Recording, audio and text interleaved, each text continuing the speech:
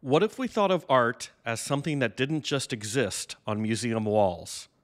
Or thought of art as something more than just decoration above our sofa? What if art was not just in front of us, but around, behind, and underneath us? That was Scott Burton's philosophy. He wanted art injected into every part of our lives. Now he's got an exhibition, the largest one in the United States ever of his work, at the Pulitzer Foundation. So, I thought we should talk about it.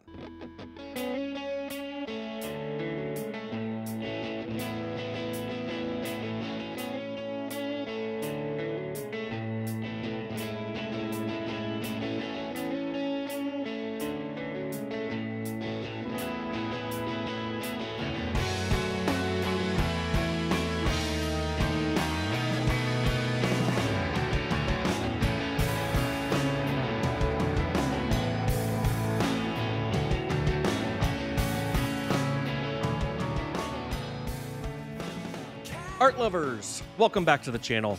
My name is Christopher West, and this is where we talk about the artist you need to know in a hopefully non pretentious way.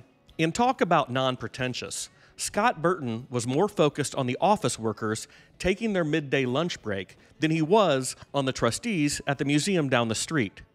Burton was an artist who saw no distinction between art and utility, and he blurred the lines between fine art sculpture and design. Burton started out in the 1960s as a performance and conceptual artist. And in his performance art, he began to think about how people engaged not only with the space around them, but the objects within that space. And he started to think of his work as sculpture in love with furniture. This was his first sculpture. Now, obviously, you're thinking this is just a chair that could be found in pretty much any house in America in the mid 20th century. And in fact, that's exactly how it started out. It is based on a chair that was actually left behind by the previous tenant in his apartment. Burton was captivated by the chair's signs of its former owner the uneven legs, the chipped surfaces. And in 1975, he cast the chair in bronze, preserving its utility while simultaneously transforming it into a sculpture. It was that same year he first exhibited Bronze Chair, but he didn't put it inside the gallery hosting the exhibition. It was placed outside, across the street. Some pedestrians thought it was a discarded chair, free for the taking, who were then surprised they couldn't move it because it was so damn heavy. Other passerbys simply paid no attention to it at all. And Burton was delighted that this work became both an image of a chair and also a chair. And this idea of conceptual art disguised as public furniture stayed with him throughout his career. Take a picnic table and four benches from 1979 and located in Art Park in Lewiston, New York. It's made of cast concrete, and to 99.9% of the people that see it, it just seems like a nice, yet slightly unconventional, picnic table to have lunch on a summer's day. It's not until you look at the model he made for this installation that the truth is finally revealed. Above ground, the table and benches simply look like upside down trapezoids. But when we look below the surface, we actually see the furniture is made of five inverted pyramids. The user is completely oblivious to the entirety of the sculpture, rendering it both a functional piece of furniture and of conceptual art. Around this time, Burton also started designing seating out of carefully chosen boulders. Here's Rock Settee from 1988.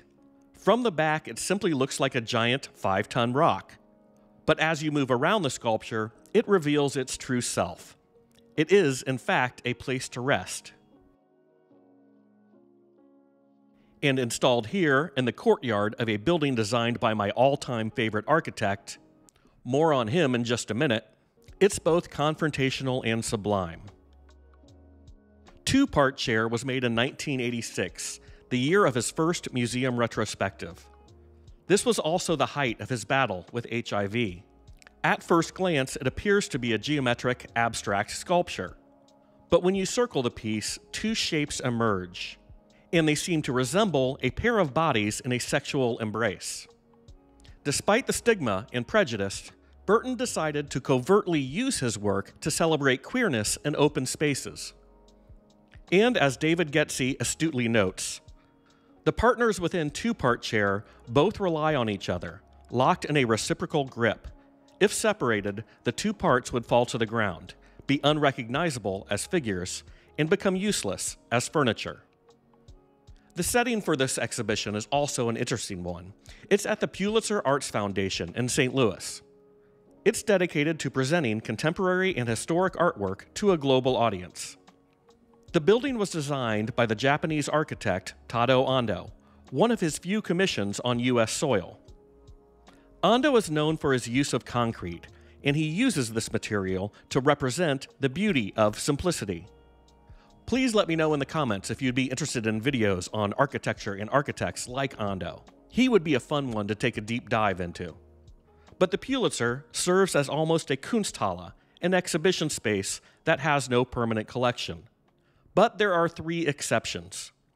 Two pieces were commissioned specifically for this space. There's Ellsworth Kelly's 28 foot sculpture, Blue Black, composed of two painted aluminum panels. And Kelly chose the colors, dimensions, and location to achieve a balance with the architecture. The second piece commissioned for the building is Joe, a massive, spiraling piece of Corten steel installed in the courtyard. It's by Richard Serra, and, as with much of Serra's work, the viewer is invited to walk through the work, to move through it, and follow the path to the center. I think the real content of these pieces are walking into them, through, and around them. The third and final piece in the Pulitzer's collection is Rock Settee by Scott Burton. In this setting, it is both approachable and unexpected, and typically the first place I go when I visit the Pulitzer.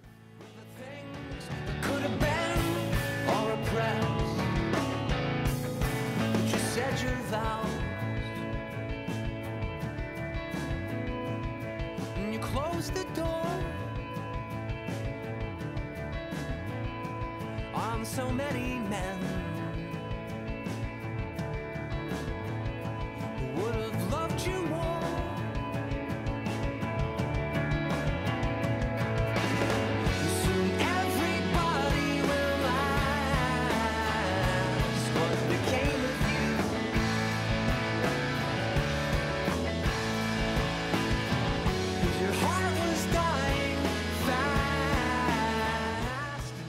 So again, let me know in the comments if you'd like to see a video on the architect Tadao Ando.